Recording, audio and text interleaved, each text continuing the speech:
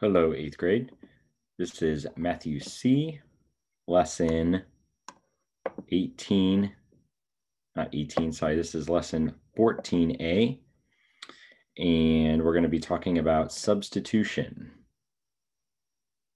Okay, so if we look at this, the first three have been already done for us. So we're going to move on to number four down here, four through six.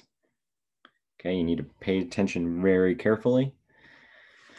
Okay, so let's look at number four. We have two equations, first off. We have this equation right here, and we have this equation right here. Two equations. Okay, I'm going to draw each equation on the graph. And then we're going to estimate a solution. When it says estimate a solution, that means we are going to find where they intersect. So first, let's work on the first one, 2x plus 3y equals 0. I'm going to write that down here, 2x plus 3y equals 0. Okay, we need to get this in y-intercept form first, slope-intercept form. Okay, so I'm going to subtract 2x on this side, subtract 2x on this side. I have 3y equals negative 2x. Divide by 3, divide by 3, y equals negative 2 thirds x. Okay, I don't have a y-intercept, so it's just going to be plus a 0. Okay, so I'm going to graph this first. My point's going to be right here on 0. I'm going to go down two, one, two, over one, two, three. There's my first point, my first line. Let me go ahead and graph this line here.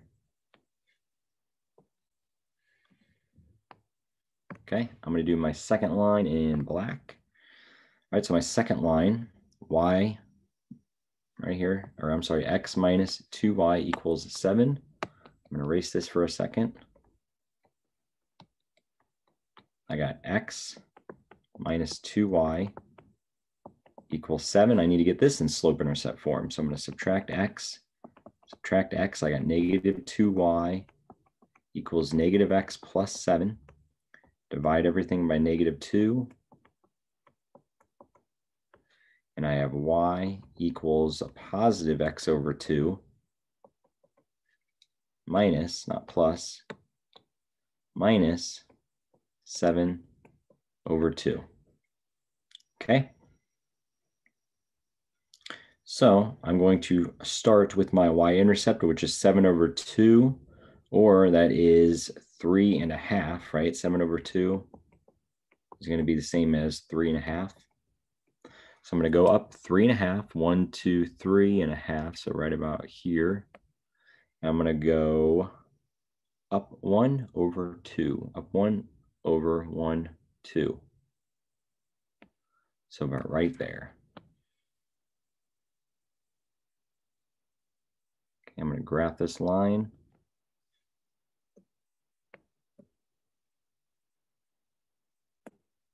Okay, if I graph that line, you can see my point is going to intersect right about here. All right, so draw each line for number four. We're still on number four. Draw each line and estimate the solution. Okay, so we drew each line. Our solution is going to be negative one, two, three, one, two, negative three, two. Okay. I'm going to erase this here.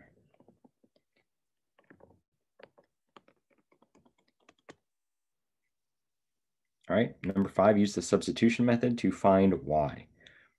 You must first solve one of the equations for x. Okay, so I should not have erased those two equations, but that's okay. So let's take our first equation that we had, which was 2x plus 3y equals zero. I'm going to put this back into slope intercept form. So that would have been 3y equals negative 2x, and it's y equals negative 2 over 3x, okay? So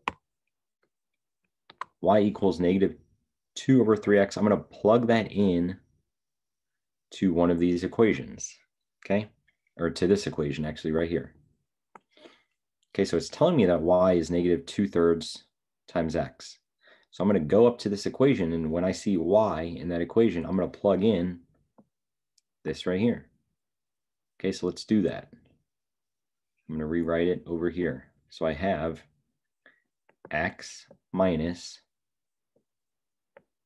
2. Here's where I'm going to plug in my y, negative 2 thirds x. Okay, and that equals 7. All right, so now I'm going to multiply this together and try to find out what x is. So I have x minus, if I take 2 times negative 2 thirds, okay, it's going to become a positive because I have a negative 2. Okay, so it's actually going to become a positive 4 thirds, 4 thirds x equals 7. Okay. So now look, I got x over 1 plus 4 over 3x, just fractions, right? Because really this is 1x. So I just need to add these two fractions together. First, I need to find a common denominator of 1 and 3, which is going to be 3. Okay, this is going to stay the same.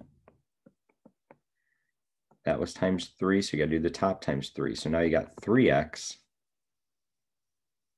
Okay, so 3 over 3x plus 4 over 3x equals Add those together, you get 7 over 3x.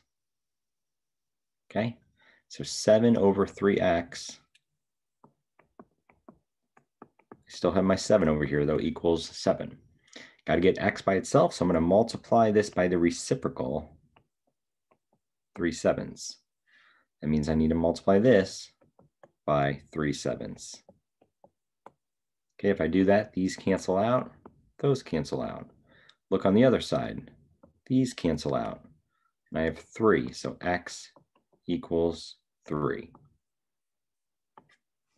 All right, so I know x equals 3. I need to go back up here now and find out what y, oh, we found out what y equals, negative 2 over 3x. Okay, we didn't find out all of what y equals now, because now we need to multiply my 3 times my negative 2 thirds, and that'll tell me what y is. Okay, so one more last step. And yes, these do take a little bit to do, so you got to go slow. These are not fast problems by any means. So I got x equals 3. Okay, I'm going to go back into my equation. Okay, and I'm actually going to write a, I'm going to use this equation again right up here, this, this second one. I know now that x is 3. So I'm going to rewrite this now 3 instead of x. I'm going to do 3 minus 2y equals 7. And now I'll be able to figure out what y equals. Okay. So I already know what x equals. x equals 3. Let's find out what y is going to be. Okay, so I need to subtract 3 here, subtract 3 here. I'm going to erase this right here. And now I got negative 2y equals 4 divide by negative 2, divide by negative 2, y is going to be a negative 2. And I know now that that point is 3, negative 2. Okay, if you go back up here, look what happens when I go over 3, 1, 2, 3, down 1, 2. It's this point right here. So I know that I'm right because it matches up. Okay, if we look at number six, using the solution to number five, substitute to find x, we just did that, right? x was three. Okay, let's go down to number seven. I'm going to erase this stuff. Hope you had it.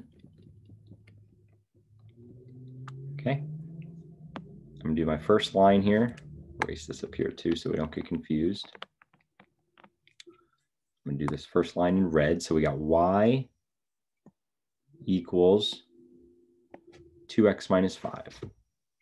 Okay, y equals 2x minus 5. Um, I am going to first graph that point. So I'm going to go down negative 5, 1, 2, 3, 4, 5 up to 1, 2 over 1. So there's my first line.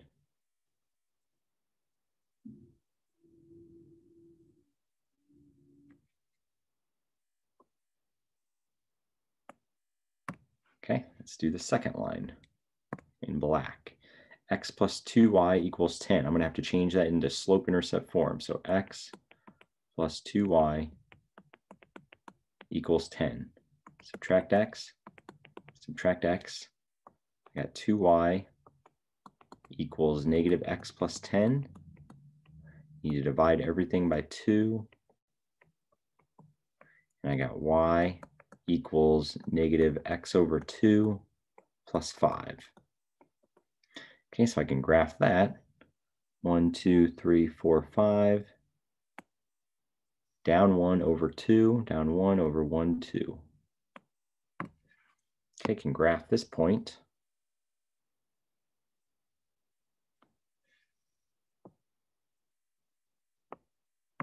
There we go. Okay. And estimate the solution. My graph, as you can see, is a little cut off there, so I don't think it matched up exactly.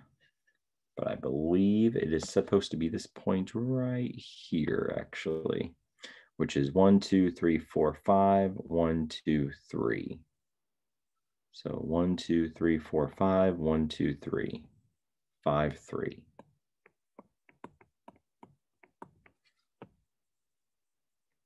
Okay, I'm to check something up top here real quick.